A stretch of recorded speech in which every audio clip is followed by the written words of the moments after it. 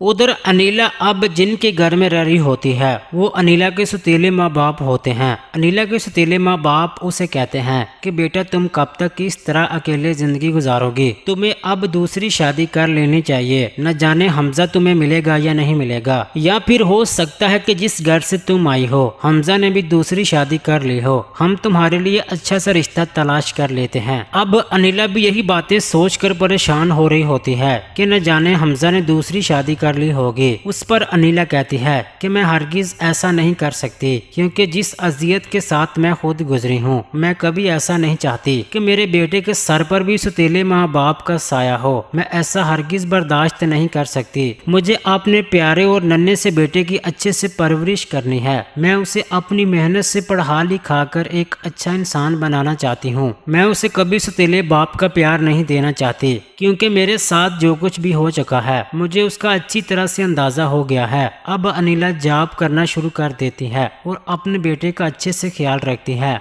क्योंकि वो कभी भी नहीं चाहेगी कि जिस तरह से उसे तेले माँ बाप का प्यार मिला है, जिस तरह से वो अपनी ज़िंदगी में खुशियों से महरूम रही है। जो कुछ उसके सुतेले माँ बाप ने उसके साथ किया है, वो ऐसा कभी नहीं चाहेगी कि ऐसा कुछ भी उसके अपने बेटे के साथ हो। दूसरी तरफ़, आमना की माँ काफ़ी रोती हैं और वो बीमार रहने लगती हैं। वो सिर्फ़ यही सोचती हैं कि हमने अनिला के साथ बहुत बड़ी ज्यादती कर दी है, हमें एक साथ ऐसा नहीं करना चाहिए था। हम दोनों माँ और बेटी ने अनिला की ज़िंदगी अजीरन कर दी। उस पर आमना कहती है कि माँ, अनिला ने अपने खलूस और ईमानदारी से हर रिश्ते को निभाया, मगर हमने जो कुछ अनिला के खिलाफ सोचा, जितना उसे जलील करना चाहा, आज हम खुद वो सब कुछ बर्दाश्त कर रहे हैं। जो कुछ हमने अनिला के बारे में सोचा था, हमेशा हम उसका मज़ाक उड़ाते रहे। आज वो फिर भी जहाँ पर भी होगी, खुशी होगी, दूसरी तरफ़ आप देखेंगे। आखिरकार थक हार के हमजा अपने दोस्त की मदद के साथ एक अच्छी जॉब तो हासिल कर लेता है।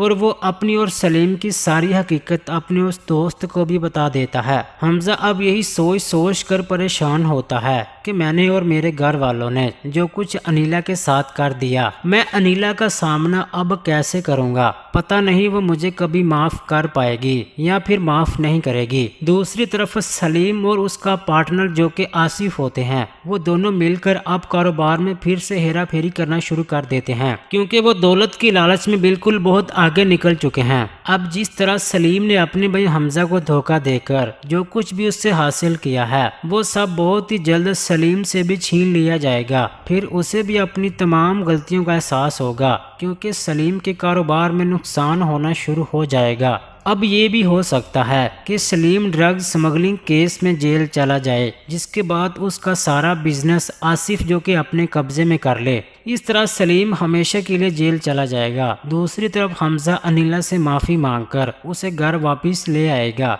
इस तरह हमजा अपने दोस्त के साथ मिलकर। मेहनत करके कारोबार में बहुत तरक्की हासिल कर लेगा और एक कामयाब इंसान बन जाएगा। हमजा क्योंकि ईमानदारी के साथ हर काम करता है, यही वजह है कि हमजा कभी अनिला के साथ ऐसा कुछ भी ना करता। अगर सलीम अपने भाई के साथ ये घटिया खेल ना खेलता, अब इतना कुछ होने के बाद हमजा और अनिला फिर भी एक हो जाएँगे। हमजा का बिज़नेस भी उसे मिल जाएगा। इस तरह अनिला हमजा को माफ़ करके अपने बच्चे के बेहतर मुस्तकबिल के लिए और अपने बच्चे के सर पर उसके बाप का साया कायम रखने के लिए सब लोगों को दिल से माफ़ कर देगी, क्योंकि अनिला एक मुखलिस दिल वाली होती है। अनिला की सास भी उससे दिल से माफ़ी मांग लेती हैं और अपनी के पर काफ़ी शर्मिंदा होती हैं। इस तरह सब लोग मिलकर हँसी खुशी अपने बेटे के साथ ज़िंदगी गुजारते हैं और सलीम यहाँ तो हमेशा के लिए जेल चला जाएगा। इस तरह सलीम के पास सिवाय पछतावे के और कुछ नहीं बचेगा और जो कुछ उसने अपने भाई हमजा को धोखा देकर हासिल किया होगा,